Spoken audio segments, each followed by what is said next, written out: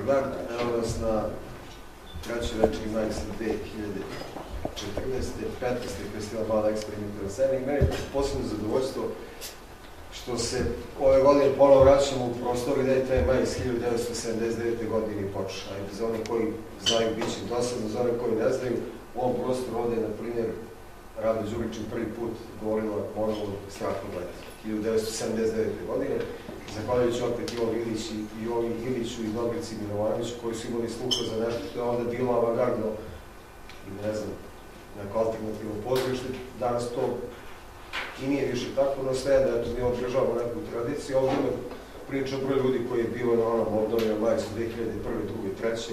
i evo sad ga obnavljamo po 15. put, što priznaćete nije malo.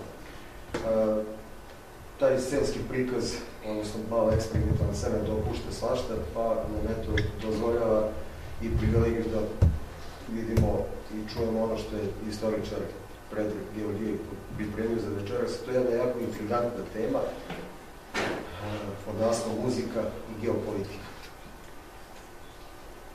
Predraže, odnosno režija, gasite svetlo, Predraže, izvolite. Ime i prezime. Gavro Princip, rođen 25. jula 1894. godine u selo Bljaj kod Gavro, Kotar Livno. Zanimanje? Učenik 8. razda gimnazije. Protiv tebe je pokrenuta ista zbog zločina umorstva što si mučki pucao na prestolu nasljednika pravnika Ferdinanda i njegovu suprugu iz pravnog pištolja. Od čega je nastupila smrt. Jesi li razumio optužbu i da li se kaj za? Uzimam optužbu do znanja Ne kajem se. Jedino mi je žao što je vojvodkinja Sofija ostala mrtva. A zašto sam da pucao u nju? Pucao sam u Ferdinanda i Počereka. Stajao sam na uglu Latinskog mosta kad su naišli automobili.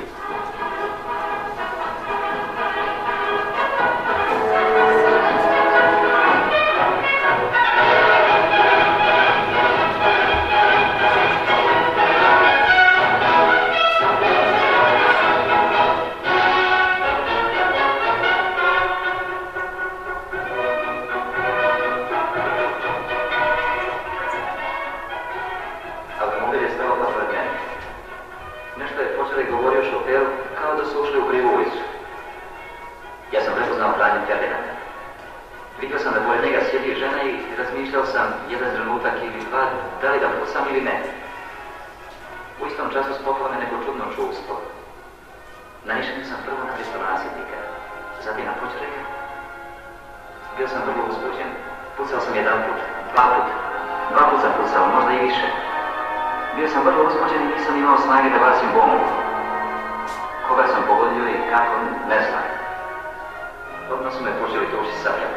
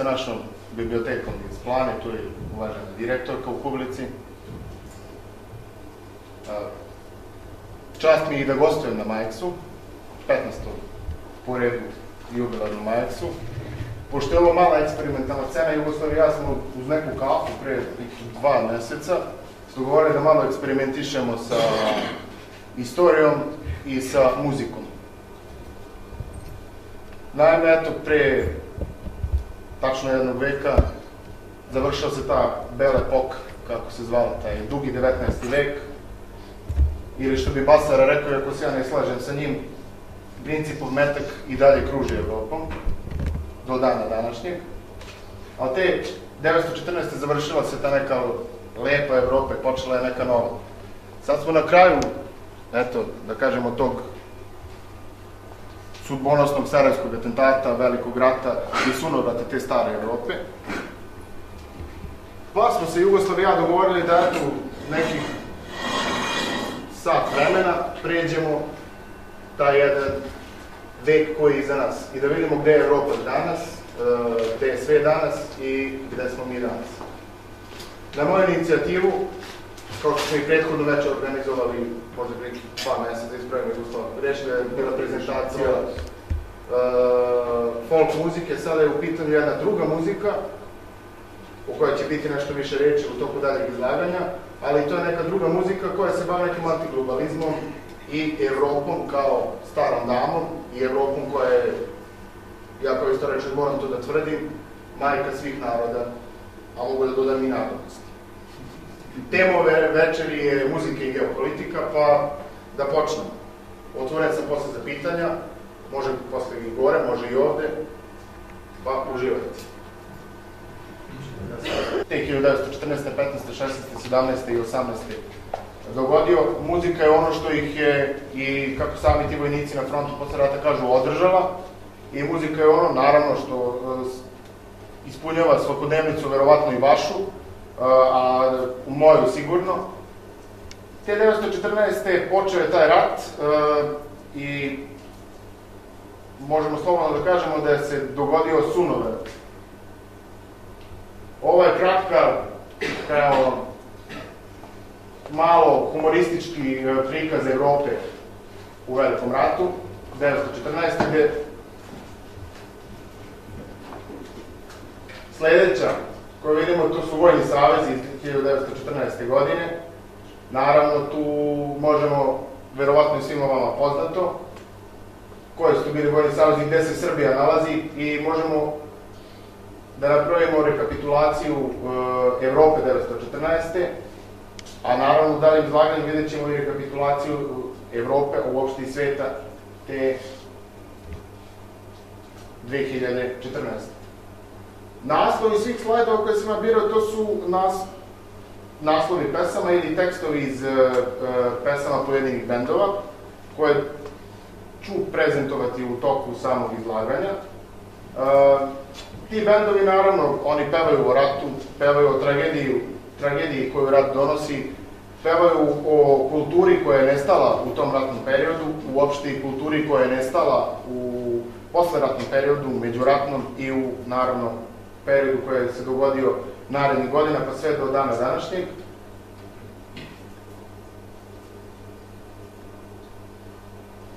Ovde je, naravno, Evropa nakon velikog rata. Vidimo da se karta Evrope naravno promenila, nestale su tri velika carstva, stvorene su nove države, među njima je naravno i naša Jugoslavija, Sovjetski savez, Nemačka je rasprčana, Austro-Ugrska monarhija je nestala.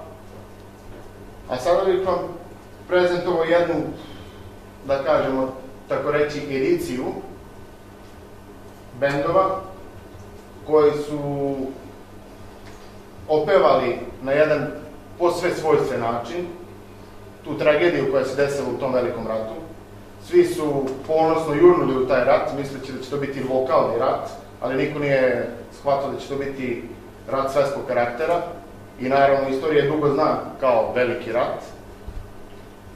Pa, ja moram sad da ustanem.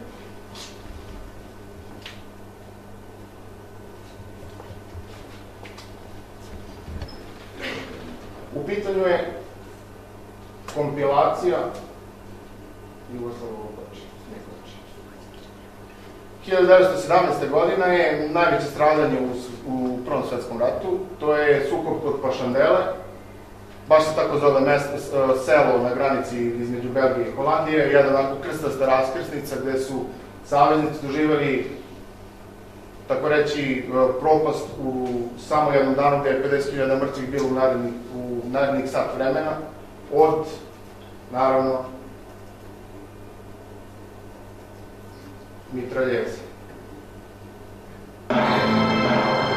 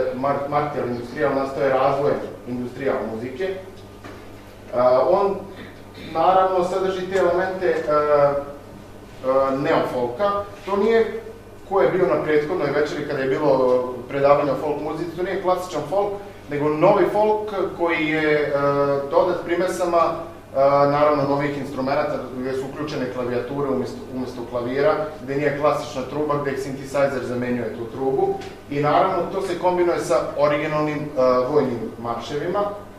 Kao što ste mogli da vidite sa ovom, ovom, ovom, ovim spotom prethodnim, ta, koriste se autentični snimci, koriste se autentični istorijski govori, uh, koji su za određeni istorijski uh, period. I taj pravac je nastao kao pokret bendova od Venezuela do Kine. Ovo konkretno što ste malo pregledali, to je bend iz Venezuele, Vir Martialis. Uh, njihova, uh, njihova pesma koja je doprinila toj kompilaciji različitih autora u slavu velikog rata i tog najvećeg uh, stradanja u Prvom svetskom ratu. Taj rat se završio, došli su 20. godine, vreme demokratije. Ja sam namerno stavio tu demokratiju pod znake navodnika i namerno sam naveo te četiri demokratske zemlje, Italiju, Nemačku, Španiju i naravno nama po najbliži od e, sve te četiri sovjetski savez. Naravno, znamo mi da je 20. došao Mussolini na vlast, 30. Hitler, komunisti su na vlasti još od 1917 u prvo Ruskoj imperiji, pa posle Ruskoj socijalističkoj federacijnoj republici, a kasnije Savezu sovjetskih socijalističkih republika. Ovde se naravno stavlja nešto što je izazvalo i u neku ruku bio ispit za demokratiju, a isto tako vezuje se za sam uh, naziv slajda, vreme demokratije, to je španski građanski rat, koji je bio sukob ideologija, gde je demokratija, ako možemo da je shvatimo, gledajući ove četiri zemlje, u mnogo čemu izgubila. U mnogo čemu bio sukob ideologija. Ove trojice velikih gospodara rata. Mussolinija, Adolfa Hitlera i Josipa Visarionovića, Drugašvilija, poznatijeg kao Stalin. A, ove tri slike sam opet namerno izabrao, jer govore o toj ideologiji. Ako vidite na drugoj slici Mussolinija, klasičan meditiranski tip uh, diktatora, sve je super, sve je lepo, još se i smeje. Ovo je scena iz uh, Moloha, film Aleksandra Sukurova, gde je Hitler snivao u velikoj, velikom nemačkom rajku. A ovo je Stalinova slika, naravno, iz zatvora, to je sa robije u Sibiru iz 1908. godine. Ono što bih vam sada prezentovao za ovaj period o kome sam pričao je nemački band eh, von Tronstall. To je neki klasičan neofolk, folk rock, martial industrial. On pre svega, pesma se zove Obučeni u crne uniforme i govori o toj tragediji u kojoj je Evropa zapala tih 30. godina. Tačnije govori o španskom građanskom ratu. Da se ogradim, da ne bude zabune, u pitanju je fan video, nije oficijalni spot benda, nego je neki simpatizer tog benda napravio spot. Inače, bend postoji od 86. godine i dan danas. to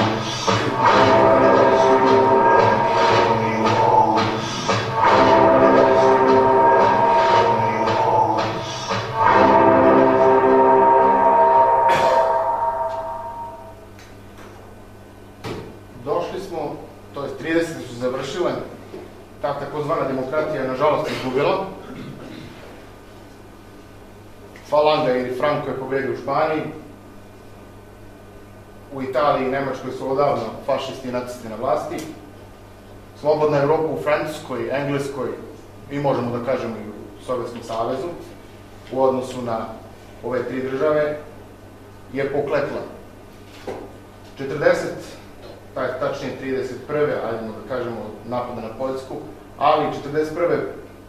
počeo je jedan rat koji se u istoriji naziva totalni rat. Evropa je opet krenula da srlja u svoju propast. Nije bilo dovoljno ni 914. 15. 16. 17. i 18. I taj međuratni period da se nauči da je ona majka svih naroda i da je Evropa Evropa. Pa su Evropljani odlučili između sebe da urade ono što niko drugi ne može, to jest komšija sa komšijom, narodski rečeno, da se posvađa i da upadaju jedan drugom u dvorište. Počeo je drugi svetski rat ili Belum sakom Belum. Opet tekst iz ben, uh, naslova pesme benda koju smo malo preslušali. Taj rat je, na, nažalost, opet Evropu prekrojio, izmenio, možemo da kažemo i unazadio. Ali, nažalost, najgore strahote dogodile su se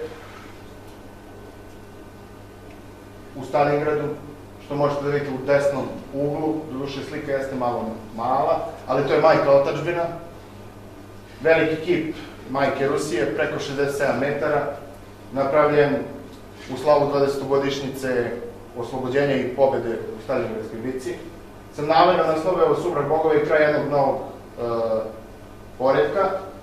Sumrak bogova, naravno, pali su Mussolini i Hitler koji smatrali za bogove, i hteli su da uvedu jedan novi poredak, ali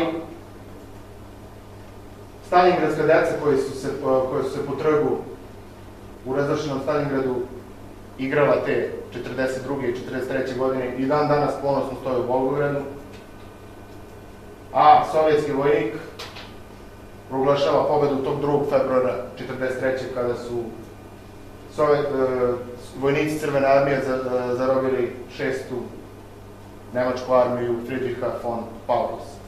Nešto što bi vam sada ja prezentovao je naš domaći Martial Industrial band, uh, koji će baš ovo što sam ja u nekih 3, 4, 5, 6, 7 rečenica uh, rekao, to, su, to je band iz Novog Sada, Legionari.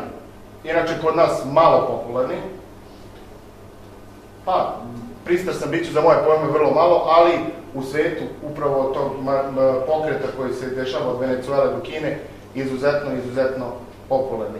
Ne znamo ko su članovi, ne, ne daju intervjue, ne bave se političkom ideologijom, pevaju o ratu, protiv rata i o antiglobalizmu. Ispravka, ne pevaju, nego sviraju. Inače, pesma je o Barbarosi 22. joj 41. godine.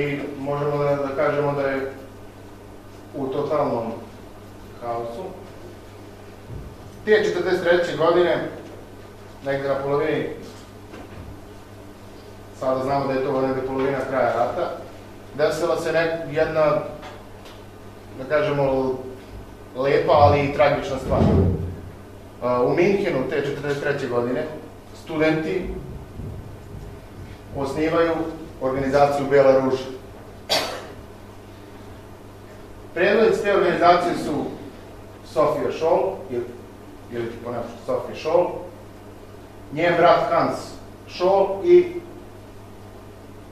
Kristof Probst.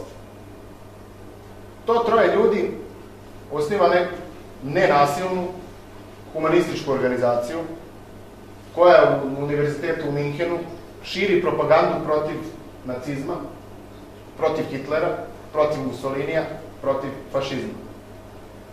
Oni u periodu od kraja januara negde do 22. februara 43. godine nemačkoj javnosti donose ono što nemačka javnost ne želi da čuje, a to je poraz u Stalingradu i, i sunovrat nacističkog režima. Sophie Scholl, rođena koincidencijom ili ne, 9. maja 21. godine, a ubijena 22. februara 1943. godine, naravno sa svojim rođenim bratom i svojim kolegom, drugom, članom organizacije, istog dana. Zašto sam to izabrao? Zato što često volim i džacima u školi, a i na fakultetu sam, su nam uporno to pričali, da je u toj zapadnoj porobljenoj Evropi jedini trag glasa bila upravo ta Sophie Shaw. Ovde imate uh, njenu poslednju rečenicu pred smaknuće. Inače, ona je bila poslednji Nemac ili Nemica, kako god, koja je smrtna kazna izvršena nad njom. U Nemačkoj između dva svetska rata smrtna kazna se vršila na jedan način, giljotinjom i vešanjem o klavirske žice. A ona je imala tu nesreću da bude poslednja koja je giljotinirana. Da sam se punio. I, a zašto? Zato što je posle toga bomba pala na uh, mesto gde je smrtna presuda izvođena i od 43. do 45. smrtna kazna izvođena vešanjem. U njenu čast, pre tri godine Nemci su osnovali upravo band pod ovim nazivom, Bela ruža, i posvetili jedan čitav, uh, čitav album, Žitije Bele ruže. Ono što ja želim sada vama da, da, da pustim je uh, pesma koja govori upravo o Sophie Scholl i uh, njenom bratu i drugu. Tu ćete čuti originalne snimke sa suđenja, to je tačnije izricanja presude, 21. februara 1943. godine. Možemo da počnemo. Inače, taj bend je sličan kao ovaj, u neku ruku. Uh, sve bendove koje sam birao, naravno kao što u Martel Industrialu i u svakoj muzici postoje oni koji se vole, oni koji se ne vole. Ove bendove koje sam ja birao, uh, spisak je malo duži, ali sam ga skratio. Uglavnom su bendovi koji pevaju nekoj slobodi i demokratiji i Evropi, posle Evrope kako oni zamišljaju, a i u nastavku večeri čućete i ostale i vidjet ćete još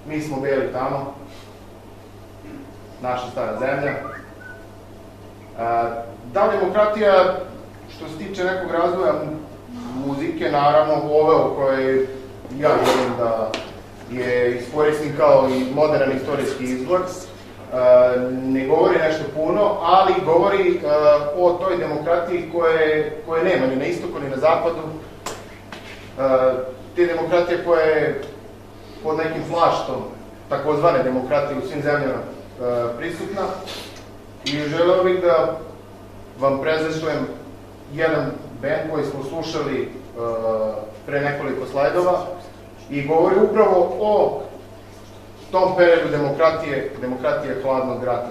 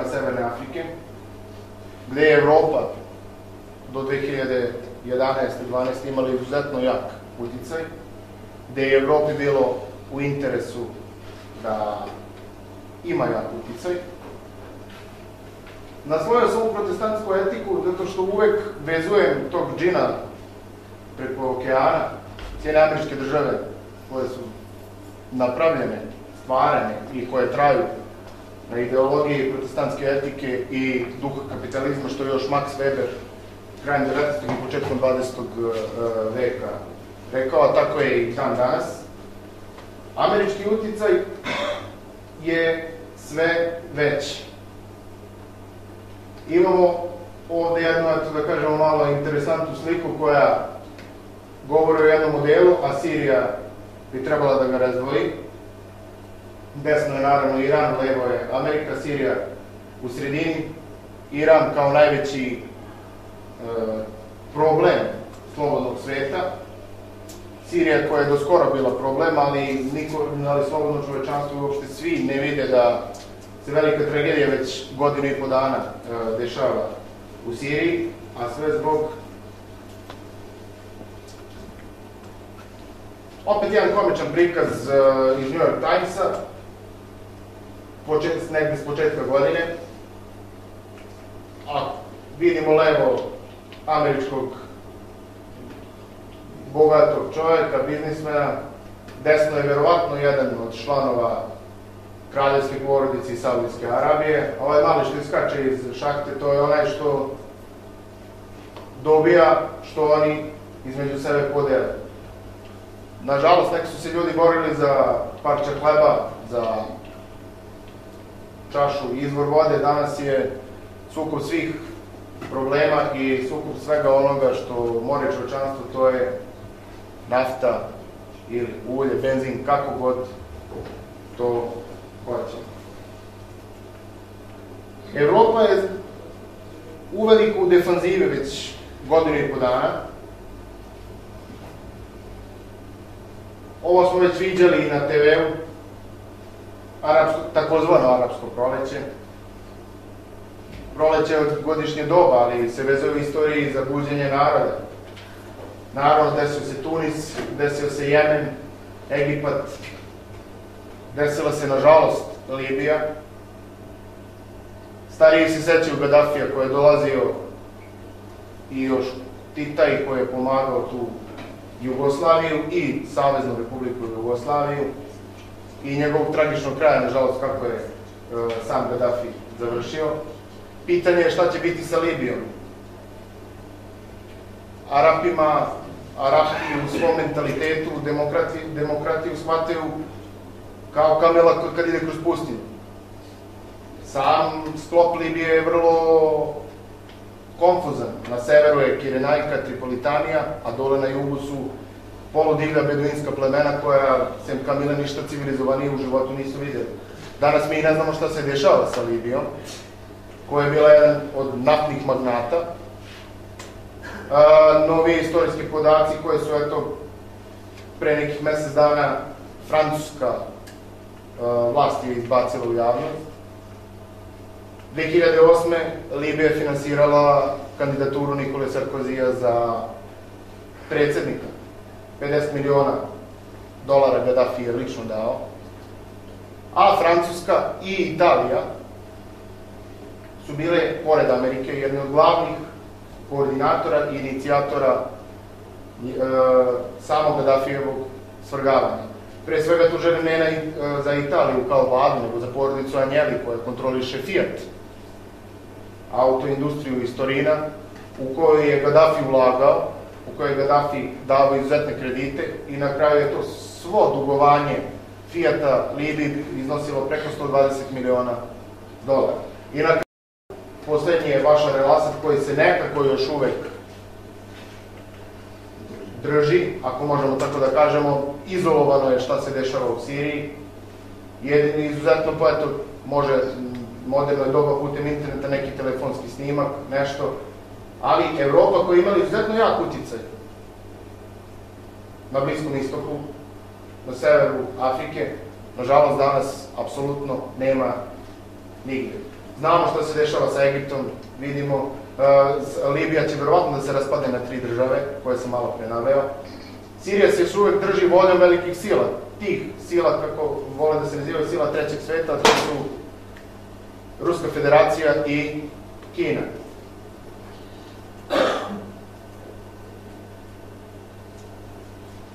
Evropa protiv Evrope. Nije bio dovoljan ni prvi rat, ni drugi, ni između ta dva rata, španski i građanski, a ni hladni rat. Imamo sa leve strane Evropsku uniju, sa desne, sada u junu formiranu Evroazijsku uniju. Ona je, naravno, svi znamo da je Evropska unija formirana 50. godina. Šumarovom deklaracijom i stalo da traje dan danas, da ima preko 27 članica, možda čak i više. Više ne zna, ne zna se ni, ni ko je u Evropskoj uniji, a ko nije. A sa druge strane, Ruska federacija, uz pomoć Belorusije i Kazahstana u junu u Astani, sada glavnom gradu Kazahstana, formirali su Evroazijsku uniju. To se ne, do, ne doživljava kao obnova Sovjetskog saveza, nego se ta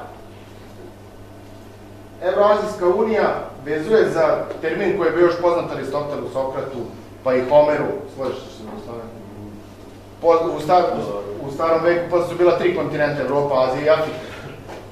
Ali Grci su znali da, da tamo negde daleko u Aziji postoje Kinezi, da postoje napredne civilizacije. Ta Evroazijska unija bi zauzela Evropu i čitavu, naravno, Aziju kao jedan ekonomsko-unijski savez koji bi bio bezcarinski, koji će, naravno, a, omogućavati ono da se te zemlje koje se čine sada oslobode pritiska Evropske unije. Ali želim da se ogradim ne pritiska Evropske unije kao evropskih država, nego pritiska Vašingtona, koji naravno od drugog svetskog rata, nažalost, kontroliše tu Evropu, kontroliše e, svetski kapital, kontroliše sve ono što se u toj nekada velikoj, a sada maloj Evropi i dešava. Ovo je scena potpisivanja sporazuma Evroazijske unije, sada u junu. U Astani vidimo Lukašenka, vidimo Medvedeva i Nuslana Nazarbajeva, predsednika Kazahstana. Ka toj Evroazijskoj uniji idu, da kažemo, i ove članice Evropske unije, čisto iz ekonomskih interesa. Svedali smo prethodnih nedelja šta se događalo, da i Nemačka želi blisku saradnju sa Rusijom, a sve u interesu, naravno, svom. Za sada, ta Evroazijska unija izgleda otprilike ovako da vidimo sve članice crvene su Rusija, Belorusija, Kazahstan, Ukrajina je u februaru, nažalost, zbog svih nebenih događaja koji su, su zadesili, odlučila da ne pristupi Evroazijskoj uniji, već Evropskoj uniji i ta, i ta odluka dovela je do, nažalost, tragičnog građanskog rata. Naravno, sve ostale zemlje, na, to su, kako se popularno da nazivaju stanovi, Kirgistan, Tadžikistan, Uzbekistan, naravno, Mo Mongolija i Moldavija pristupaju ove godine Evroazijskoj uniji. Sirija, čisto iz svojih geopolitičkih i strateških interesa želi da pristupi njoj, kao i Azerbejdžan. Naravno, u Siriji znamo šta se dešava, ali Azerbejdžan ima problem sa Turskom, okno naravno Karambaha, to je one provincije, i potencijalno stvaranje četvrtog centra, što je skoro i naša vlada i prethodnih godina je bilo govora o tome, do 2012. da i zemlje Balkana, Rumunija, Bugarska i Srbija budu članice ili bar posmatrači Evroazijske unije. Sada ćemo čuti jednu kratku pesmu, u pitanju je uh,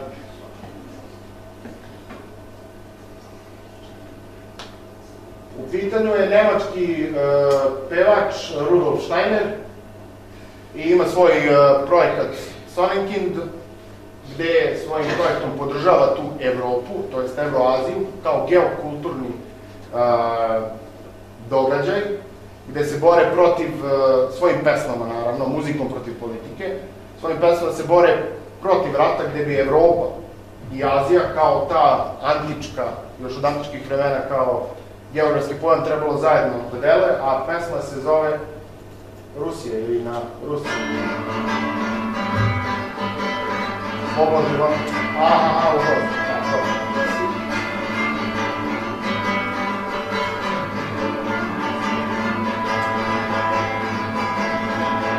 Einst tobte Überreich und Russland eingewittert, doch überm großen Teich freute sich ein Dritter,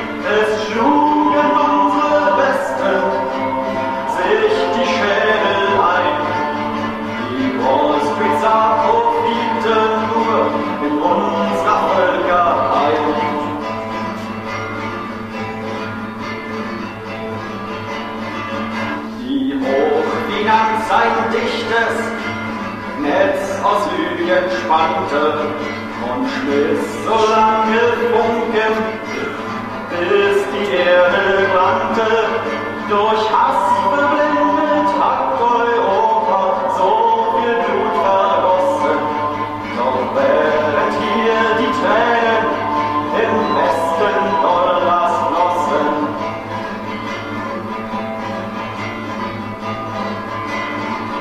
Gedenken wir der Toten aus diesem finsteren Streit und lasst uns Freundschaft schließen für alle Ewigkeit. Lasst uns den wahren Feind erkennen und fest zusammenstehen, als Speerspitze der freien Völker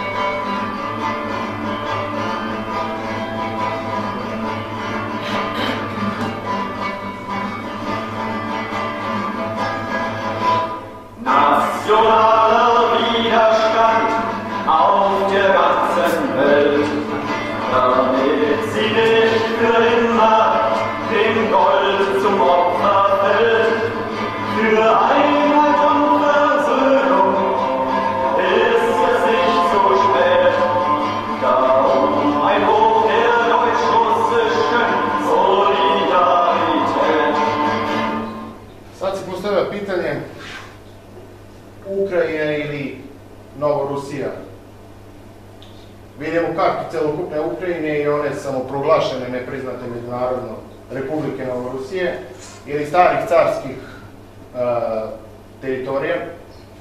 Ovo crveno, to su stare carske teritorije. Ovo gde piše Ukrajina, to je istorijska Ukrajina. Što se često šalili sa, nažalost, i i građanskim ratima u Jugoslaviji, Hrvatska to je Zagreb, Zagorje i okolina. Tako se sada često i šale sa Ukrajinom da je to Kijev i malo veća okolina.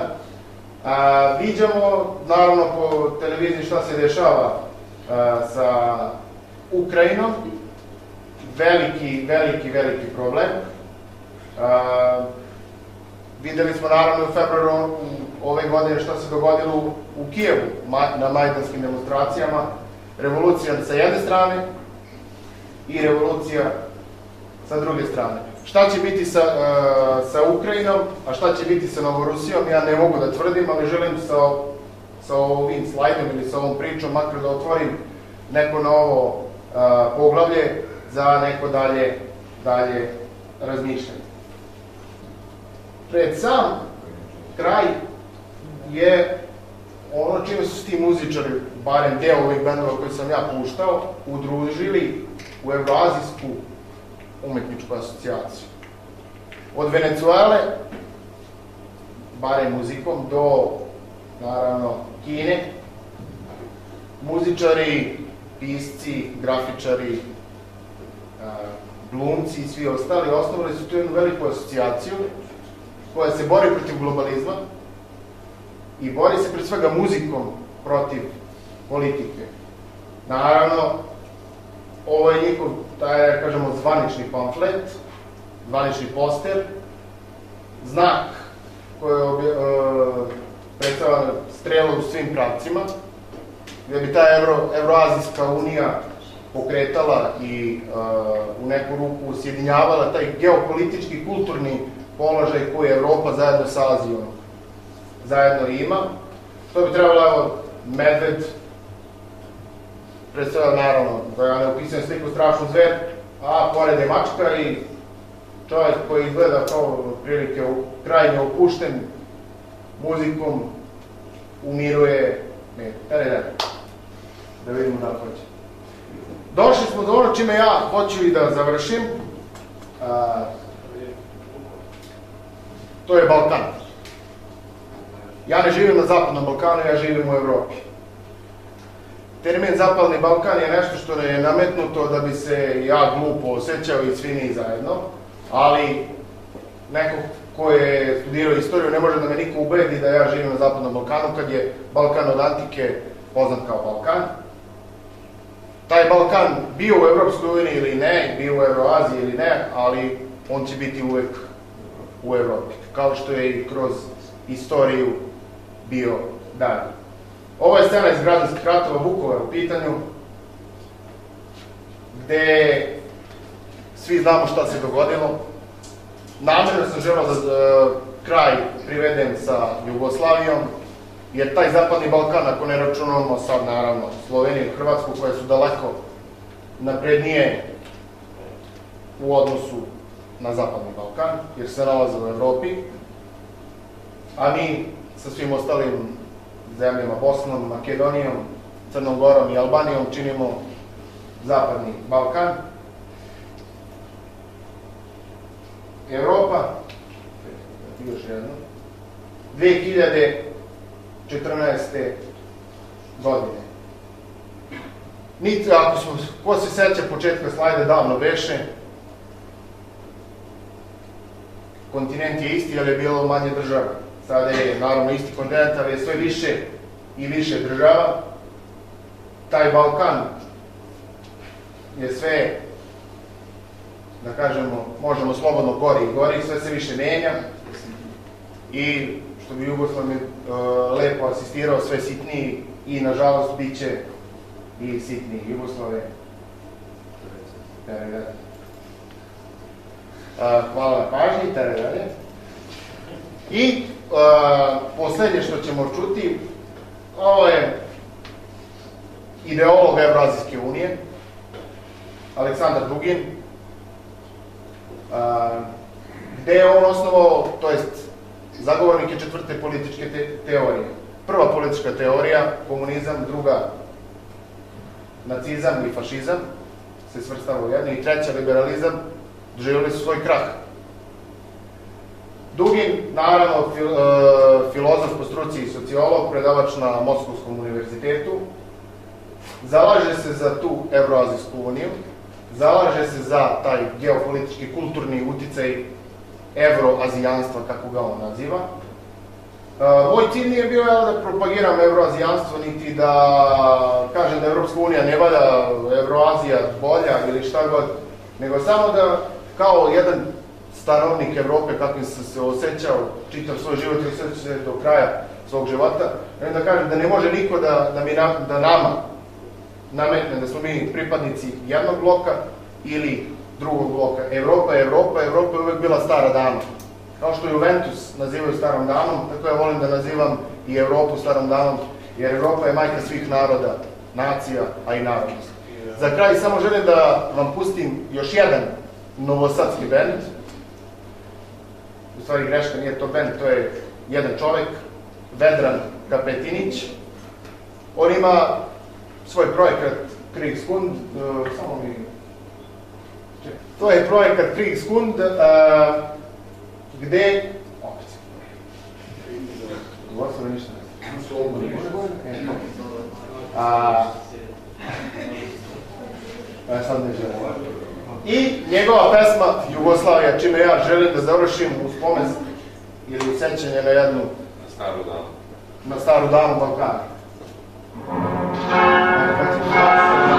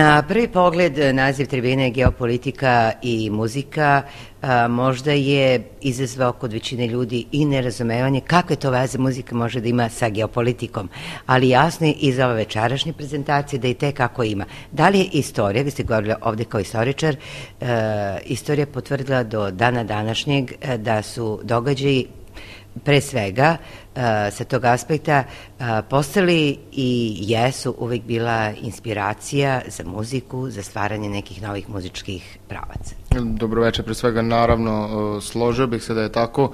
Ako uzmemo uopšte i kroz istoriju narodna tradicija, pesma o svojim precima i o usporima i padovima, muzika je uvek bila nešto što je održavala narode, održavala porodice, uopšte sve svemu i ona mogla je uvek da posluži kao dobar istorijski izvor, da li ona pisana, pisani istorijski izvor, kao pisana pesma, narativni, pripovedanjem ili pošto živimo u modernom vremenu, sad putem interneta možemo da doći bukvalno do pesme iz svakog istorijskog perioda. Cilj je bio da se u, ne, u kratkom vremenskom periodu u vidu tribine pređe tih da kažem, ajde, 100, 100 godina koje je prošlo od velikog, velikog rata i da vidimo gde je muzika sada, a gde je geopolitika. I nekako ja sam došao do tog zaključka i do tog stava da je muzika tu gde je geopolitika, kao što je uvek bila. Njihova veza je neraskidiva i nikada, nikada geopolitika bez muzike neće moći da nastavi e, svoj, suživot, svoj život, jer oni su jednostavno spojeni zajedno, kao plus i minus, do, dobro i zlo. Tu su, vole se, ne vole se, peva se i o lošim i o dobrim stvarima, ali se uvek muzika negde kroz geopolitiku, da li je to pesma poreza, pesma pobede, muzika je uvek ono što ostaje i što može, što je bio i cilj ove večer, da se muzika kao muzika iskoristi u svrhu istorije, u onom modernom terminu, muzika kao istorijski izvor. Naravno, kroz geopolitiku, jer je, kao što sam malo pre rekao, usko, usko, usko povezana. E, muzika je ostala način izražavanja osjećanja, ali mišljenja, stavova, revolta, kao što ste rekli, bez obzira da li to nešto pozitivno ili negativno, ali to ostaje i traje. Vi ste završili ovo vače e, informisanjem, ja bih rekla informisanjem, da. možda da, da postoji i sada asocijacija Evrazijska asocijacija muzičara i to na prvi pogled e, može da izgleda kao način da se promoviše i Evroazijska unija. Iako cilj jeste, kao što se u muzici uvek tvrdi, e, muzikom protiv politike. Međutim, Ako se posmatra uh, u kontekstu javnog mnjenja, utice javnog mnjenja na politiku, a muzike na javno mnjenje, uh, da li može tu da postoji uh, i tekako veza utice muzike na politiku? Pa naravno slažem se sa vama, ali pod uslovom da to javno mnjenje podrži tu politiku, to jest i politiku i tu muziku. Jeste bio cilj i možda davanje informacije o Evroazijskoj asocijaciji muzičara, kao dodaću još tu da, da naravno tu su i ostali umetnici, pisci, vajari, grafičari, sve vrste umetnosti koji podržavaju tu uh, politiku, ali pre svega ta Evroazijska asocijacija uh, umetnika je nekako nenasilena. Ona, ja sam je tako i doživeo i takvi su njihovi, da kažemo, i pamfleti i takvi su njihove pesme i albumi koje oni svi zajedno izdaju. Opet, ponovit ću još jednom, kao što sam i u toku večeri od Venecuele do, do Kine. Muzikom protiv politike i nenasilan otpor. Znači, nema, e, tu ne, nema, su, e, nema sukoba. Naravno, u Ruskoj federaciji je to malo jače, jer logično je, e, trenutno to Rusiji odgovara, ali ta Evroazijska asocijacija umetnika je izuzetno jaka u Italiji, izuzetno jaka u Španiji, e, u Nemačkoj i čak e, u Venecueli, Čileu, koji opet, složit ćemo se, Južna Amerika nema apsolutno nikakvih dodirnih tačaka sa Evropom, a kamoli tek sa Azijom. Deli ih Atlantski okean sa jedne strane, Pacifik sa druge.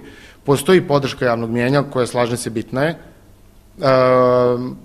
u zapadnoj Evropi gde postoje ti evroazijski umetnici ne doživljavaju neki toliko veliki, da kažemo, proboj, ali je sve više putem interneta i putem događaja, organizacija, zapadna Evropa, pa i Grčka pomalo napreduje u tom cilju, podržavaju te umetnike koji su stvarno tako ja ih doživljavam kao što su naši, verovatno moji roditelji doživljavali ili njihovi roditelji Woodstock 60. godina. Muzikom protiv politike, nenasilan, nenasilan otpor. Ipak Evropa je Evropa, opet morat ću da ponovim to, verovatno su u Americi 60. smatrali, verovatno niko nije znao gde je Vijetnam, ali su videli na, na televiziji, videli u novinama da se dešavaju neke strašne stvari gde veliki ugnjetavaju male. Upravo se Evroazijska asocijacija umetnika bori protiv toga, muzikom, protiv politike, nenasilan otpor, da svi žive zajedno kao što i ja sam duboko uveren da to tako može. Da se sve dogovorom može rešiti. Opet kao istoričar, bit ću malo subjektivan, istorija je dokazala da ne može dogovorom ništa da se reši, ali ja volim da verujem da, da može. I to je bio i cilj ove večeri još jednom. Uh, u ostalom da se dokaže da je muzika istorijski izvor, a i da se malo i prezentacija izvrši e, Evroazijske unije, koja je meni eto krajnje impozantna, bavim se malo i pored istorije i novinarstva, muzičkom kritikom, recenzije pišem, pa sam u čestom kontaktu naravno putem interneta sa njima i mogu da vidim barem, eto, uslovno rečeno o čemu oni misle, da dobijem tekstove pesama pre objavljivanja ili neke pesme pre objavljivanja, da ih poslušam, da eto, ja doživljavam njih kao nenasilan, nenasilan otpor, e, jer Evropa mora da se odupre to sam ponovio i ponovit ću opet, jeste ona kolevka civilizacije. Da li se složile sada Azija u, po tom pitanju američki kontinent ili afrički, ali iz Evrope je sve poteklo. Hteli oni tu da negiraju ili ne, tako jeste. A šta mislite kad ste rekli e, da vi lično mislite da ne može da se sve reši dogovorom, nego koji način? Pa, kroz istoriju me to navodilo kraj Prvog svetskog rata, društvo naroda, da se dogovorom rešavaju svi ratni sukobi. Dogovor je postao zeleni stoze, ali dovoljno je da jedan ne ispoštuje dogovor i nažalost uleteli smo u drugi svetski rat, posle hladni rat i sve ostalo. Tako da me ono što sam, dok sam studirao i ono što izučavam sad i do što pre, predajem deci kroz istoriju je nažalost dogovor uh, u malo, malo, vrlo malo slučajeva ispoštovan. Uh, i naravno uvek je jači ili veći ugnjetavao manjeg i nažalost tako jeste. Ova Evroazijska asocijacija umetnika i uopšte tom muzikom protiv politike jesu mali, ali njihov glas se daleko čuje. Toliko bih uh, mogao nekako grubo grubo mišljenje. U smislu uh, da ipak sve treba rešavati dogovorom, jer da, oni se bavaju. Jer rekao malo... Protiv nasilja. Da, volim da verujem da je da tako mora da bude. I nadam se da će na, na kraju da se Evropa i, i opameti i taj Balkan koji je sve sitniji i sitniji, nažalost, e, rodimo se u jednoj državi, ja se urodio u Jugoslaviji, odrastao u SRJ, školovao se u SCG, radim u Republici, Republici Srbiji, plašim se da penziju ne dočekam u nekoj novoj državi, tako da dok se, ako se Evropa ne opameti i ne bude mirna kakve jeste i bila i kolevka civilizacije, plaši me ono što može da, da se... I samo za kraj jedno neizbežno pitanje, s obzirom da su svemu tome uvijek bili, jesu, ja se nadam da će biti i važni mediji, posebno ako govorimo o odnosu muzike i geopolitike, a zna se da se preko radija, znači promoviše muzika, koliko u svemu tome mediji imaju značaja, a znate šta se dešavalo sve vremenom i da sve zavisi od toga šta pustite E, slušalcima, gledocima, stare priče, ono što im ponudite, to će konzumirati. Koliko preko toga ima utica, jer bilo je tokom perioda i zabrana, e, ne sme da se ovo emituje, ne sme ono i tako dalje. Pa znate kako, opet nadovezu se na, na istoku u Rusiji, Belorusiji, pa ajde i Kazahstanu i delom i u Nemačkoj, postoji tog proboja.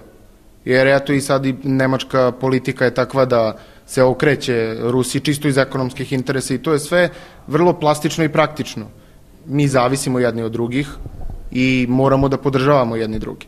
Ako ne podržavamo, e, drugačije, drugačije će biti. A opet radio, naravno, može doći do medijske blokade, ili na televiziji ili na radiju, ali internet e, je čudo, uvek, uvek može da se probije bilo šta, uvek mogu da se čuju, uvek mogu da se ovako informatičkim rečnikom izrazim hakeri neki pojave koji će to pustiti u etar da se naravno e, do, dobra muzika, dobar glas daleko čuje. Tako da e, doba modernih komunikacija koliko ima loših stvari, šta sve ne može da se i čuje na internetu i može, tako isto tako ima i, i mnogo dobrih stvari, jer ta medijska blokada je sada sve manja i mislim da neće jednostavno taj pokret, ako ga možemo nazvati nekim aktivnim pokretom, ne, on jednostavno pravi te kompilacije, udružuju se muzičari, grafičari, književnici, pišu, tako i Boris Nad, urednik Unus Mundusa iz Niša, jedan od vodećih e, članova Evrazijske unije,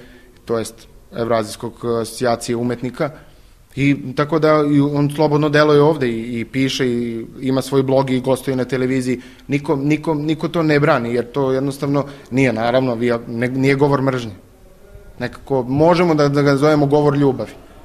Hvala vam u svakom slučaju Hvala. na ovim vašim pojašnjenjima uz očekivanje da će biti i da će prevladati ipak neke pozitivne vibracije. Pa nadam se.